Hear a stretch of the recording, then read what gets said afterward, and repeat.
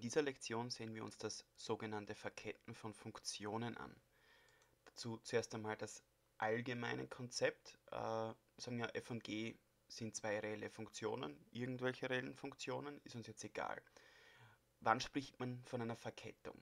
Also, äh, wir starten bei einem Wert x, also beim Argument, und das ist also die Definitionsmenge von der Funktion f. Dieses x setzen wir in die Funktion f ein und erhalten daher den Funktionswert f von x. Soweit, so gut. Also das ist jetzt einmal das Grundprinzip einer Funktion. Argument in die Funktionsgleichung einsetzen, erhalten wir den Funktionswert f von x. Jetzt sind wir aber nicht am Ende, sondern wir ketten quasi diese Funktion mit einer weiteren reellen Funktion g zusammen, indem wir das Ergebnis von der Funktion f, also diesen Funktionswert, als neues Argument verwenden und in die reelle Funktion g einsetzen und daher den Funktionswert g von f von x erhalten. Also der Wert hier wird in die reelle Funktion g eingesetzt und den Weg von hier, also vom x aus der Definitionsmenge f, zum Funktionswert von g, also dieser lange Weg hier, den schreibt man als g Ring f, wird auch g nach f ausgesprochen. Man sieht hier schon folgendes bei der Schreibweise. Man schreibt quasi von rechts nach links äh, die Funktionen, wie sie durchlaufen werden. Man könnte theoretisch unendlich viele Funktionen zusammenketten. Ja? Also ich könnte da f äh, dann das Ergebnis von f von x in g einsetzen, dieses Ergebnis wiederum in eine Funktion h von x einsetzen, dieses Ergebnis wieder in eine Funktion äh, z von x und so weiter einsetzen. Ja? Also man könnte immer, immer weiter verketten.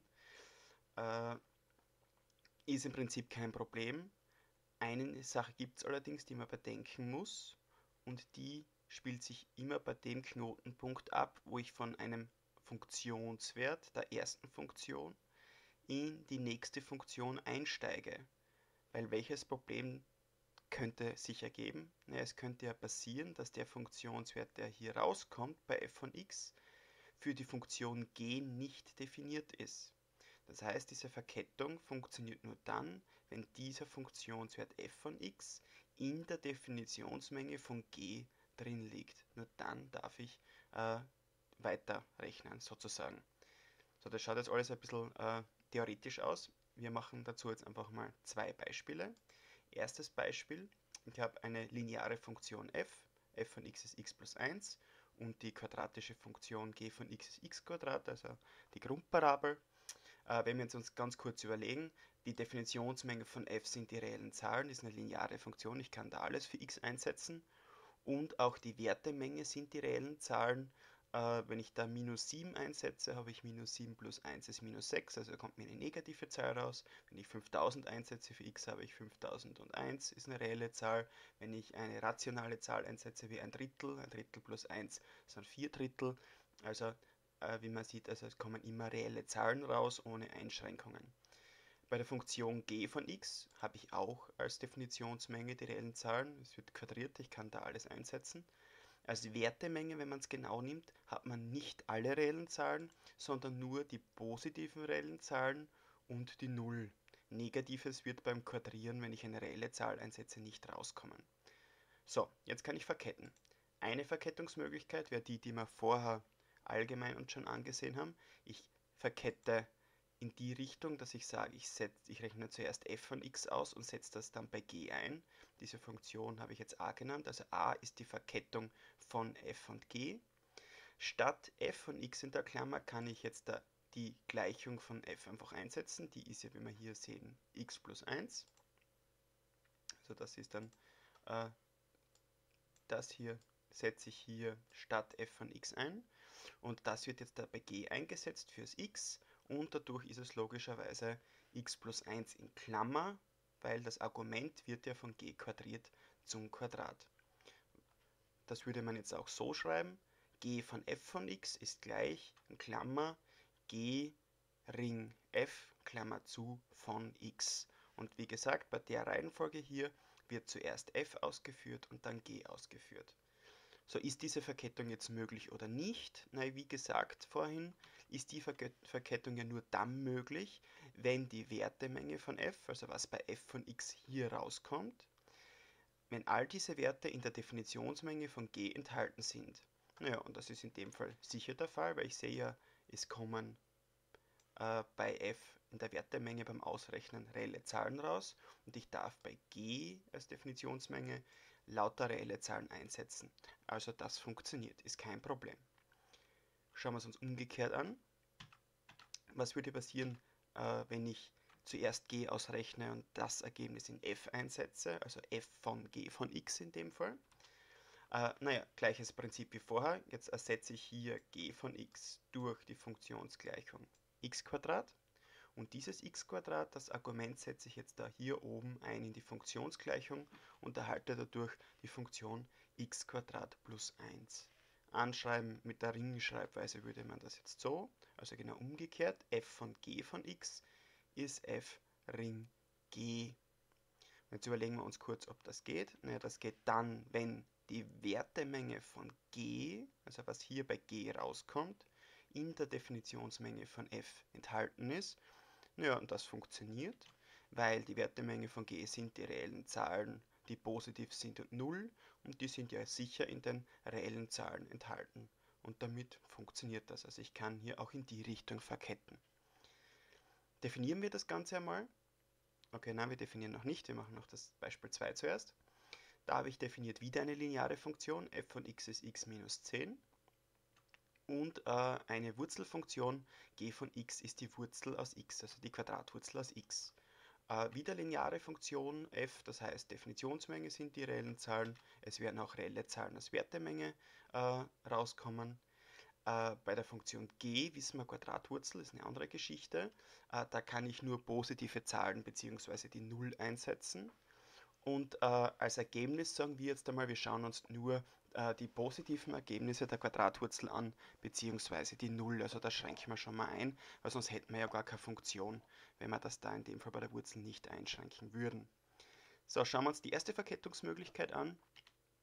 Wir rechnen wieder g von f von x das heißt, zuerst f ausrechnen und das dann bei g einsetzen. Das heißt, ich ersetze jetzt einmal f von x durch x minus 10 und setze das dann bei g ein. Also das Argument hier wird dann hier eingesetzt und dadurch erhalte ich die Wurzel aus x minus 10. Schreiben würde man das Ganze wieder so allgemein, also g Ring f von x. Und jetzt muss ich mir wieder überlegen, liegt die Wertemenge von f immer in der Definitionsmenge von G drin. Also ist das eine Teilmenge oder ist es nicht so?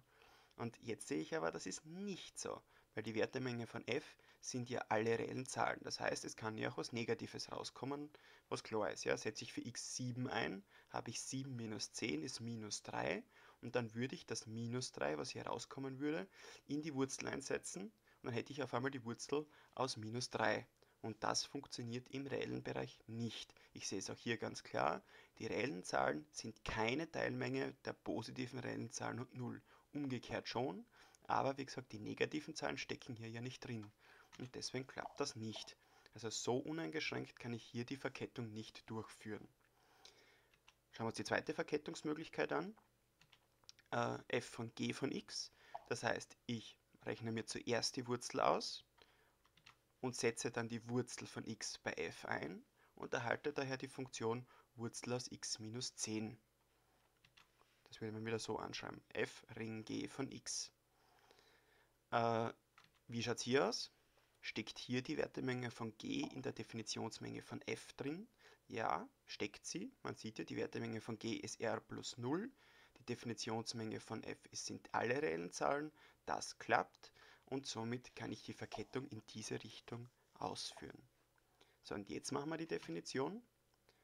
Äh, also, es seien f und g zwei reelle Funktionen mit der Eigenschaft, dass die Wertemenge von f eine Teilmenge der Definitionsmenge von g ist. Es muss keine echte Teilmenge sein, falls wir uns erinnern. Echte Teilmenge bedeutet, dass äh, die Menge, also dass die zwei Mengen nicht ganz identisch sein dürfen, sondern dass sie unterschiedlich sein müssen. Äh, Teilmenge an sich heißt, äh, es könnten auch beides die gleichen Mengen sein. Haben wir vorher eh gehabt, äh, die Wertemenge von f war die reellen Zahlen und die Definitionsmenge von g waren auch die reellen Zahlen. So, dann heißt die Funktion h ist gleich g Ring f mit g von f von x ist gleich g Ring f von x die Verkettung der Funktionen f und g. Und wie bereits jetzt mehrmals ausgesprochen, man spricht das Ganze entweder g nach f aus oder g Ring f. Wichtig ist eben die Reihenfolge. Es wird von rechts nach links ausgeführt. Das heißt zuerst f, dann g und dann, wenn noch mehrere Funktionen kommen würde, würde man das so nach links fortschreitend quasi in die Richtung äh, ausführen. So, Beispiel 2 setzen wir fort. Falls wir uns erinnern, wir hatten ja bei der Verkettungsmöglichkeit 1 das Problem, dass es nicht funktioniert, weil die Wertemenge von f, die ja r ist, keine Teilmenge der Definitionsmenge von g ist, die nur die positiven Zahlen und 0 sind. Naja, man könnte das jetzt natürlich unter Anführungszeichen reparieren, damit diese Verkettung doch durchgeführt werden kann. Was muss man dazu machen? Naja, dazu muss ich von f die Definitionsmenge hier einschränken, sodass die Funktionswerte, die von f rauskommen, also die Wertemenge von f, in der Definitionsmenge von g enthalten ist. Und dazu muss ich mir nur überlegen, was darf nicht passieren hier bei g. Na, also was darf hier nicht passieren? Also wenn ich da x minus 10 habe unter der Quadratwurzel, das x minus 10 kommt ja von f und wird hier bei g eingesetzt, dann ist, glaube ich, uns allen klar, x minus 10 muss größer oder gleich 0 sein, weil in der Quadratwurzel darf ich entweder positive reelle Zahlen oder auch die 0 einsetzen, aber eben nichts Negatives. Und das ist eben genau dann der Fall, wenn x größer gleich 10 ist. Das heißt, beschränke ich die Definitionsmenge von f auf die reellen Zahlen, die größer gleich 10 sind, dann liefert mir das automatisch äh, eine Wertemenge von f, die entweder positiv oder 0 ist. Überlegen wir es uns ganz kurz, warum. Also setze ich hier beispielsweise die 10 ein. Dann hätte ich 10 minus 10 ist 0 und die Wurzel aus 0 kann ich ausrechnen. Setze ich 15 ein, weil weniger als 10 darf ich ja nicht einsetzen, habe ich 15 minus 10 ist 5 und die Wurzel aus 5 funktioniert. Wie man sieht, ich erhalte jetzt da beim Einsetzen hier bei f nur Werte raus, die reell sind, die mindestens 0 sind. So, wenn ich die 10 einsetze und dann, je mehr ich einsetze, desto größer wird das Ergebnis. Und in dem Fall, also quasi unter diesem Setting jetzt hier, wo ich äh, die Definitionsmenge von f eingeschränkt habe, wodurch sich auch die Wertemenge von f verändert, geht sich das hier, sehe ich hier und hier, das geht sich jetzt perfekt aus und somit steckt die Wertemenge von f in der Definitionsmenge von g drin, also Wertemenge von f ist eine Teilmenge von der Definitionsmenge von g. Schauen wir uns abschließend noch ein drittes Beispiel an. Hier habe ich eine rationale Funktion f von x ist 3 durch x, x definiert und eine Funktion g von x ist, ist wieder linear 2 minus x. Überlegen wir uns kurz die Definitionsmenge von f. Naja, ist ein Bruch, der Nenner darf nicht 0 sein, das heißt, ich darf da alles einsetzen außer die 0, also r Stern. Und rauskommen werden mir auch alle Zahlen, nur nicht die 0, also r Stern. Ja?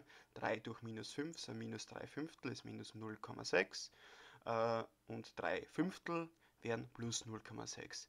Also positive oder negative reelle Zahlen kommen raus, aber die 0 eben nicht.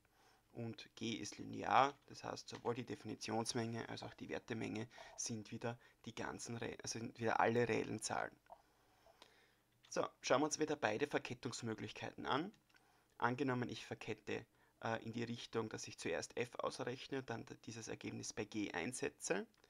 Das heißt also g von 3 durch x, dann erhalte ich 2 minus 3 durch x. Naja, und das würde wieder dann funktionieren, wenn die Wertemenge von f eine Teilmenge von der Definitionsmenge von g ist. Und wie wir da sehen, das funktioniert, weil bei der Wertemenge von f kommen die reellen Zahlen außer die 0 raus und bei g darf ich sogar alle reellen Zahlen einsetzen. Damit funktioniert das in die Richtung problemlos. Umgekehrt, äh, ich rechne zuerst g aus und setze das dann bei f ein. Das heißt, ich hätte f von 2 minus x, setze das dann äh, bei f eben hier ein. Im Nenner wird x durch 2 minus x ersetzt. Dann hätte ich 3 durch 2 minus x. Naja, wenn man da schon überlegt, glaube ich, sieht man schon, das könnte zu einem Problem führen. Man sieht es ja hier auch ganz eindeutig. Die Wertemenge von g sind alle reellen Zahlen, also hier darf ich alles einsetzen. Äh, äh, darf ich alles einsetzen und es kommt mir auch alles raus, also alle reellen Zahlen raus. Bei der f darf ich aber nur r ohne die 0 einsetzen. Und wie ich sehe, das ist nicht, das hier ist keine Teilmenge von r Stern, weil hier die 0 fehlt. Das heißt, das klappt nicht. Naja, warum klappt es nicht? Weil ja 2 minus x nicht 0 sein darf. Hier im Nenner. Dann hätte ich ein Problem. Was ist daher? x darf nicht 2 sein. Das heißt mit anderen Worten, schränke ich die Definitionsmenge von g so ein, dass ich alle Zahlen außer die 2 zulasse, dann erhalte ich automatisch auch die Wertemenge von g eingeschränkt und zwar würden dann alle Zahlen rauskommen, nur eben nicht die 0. Weil solange ich da nicht 2 einsetze, kommen mir alle reellen Zahlen raus, nur nicht die 0. Und mit dem Setting jetzt da würde es wieder funktionieren, äh, dass die Wertemenge von g, die jetzt ja mittlerweile auf r Stern geschrumpft ist, in der Definitionsmenge von f, die ebenfalls r Stern ist, enthalten ist. So, damit sind wir auch schon am Ende.